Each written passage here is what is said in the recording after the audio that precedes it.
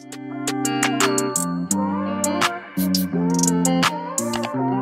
guys, welcome back to my channel. It's your girl Tassy Love back with another video.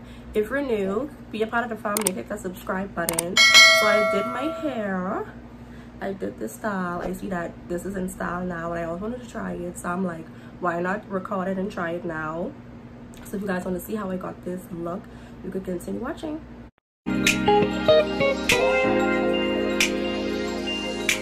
Bye.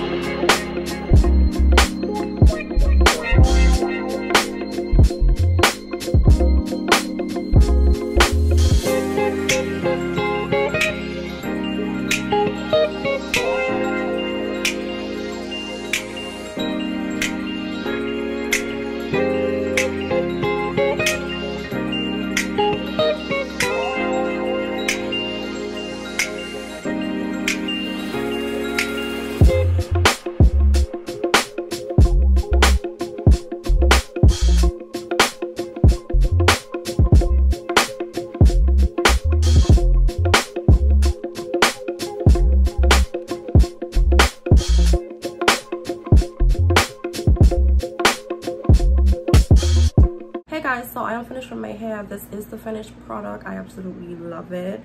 Um, i also wanted to try this style so i'm super excited that i got to do it and record it for you guys. I know i didn't do like hair tutorials in a while because i focus more on vlogging. I'm still a girl that loves to do hair at heart so this is my cute little install. Thank you guys for watching. Don't forget to click that subscribe button. Follow me on instagram at underscore tassy love and see you guys in my next video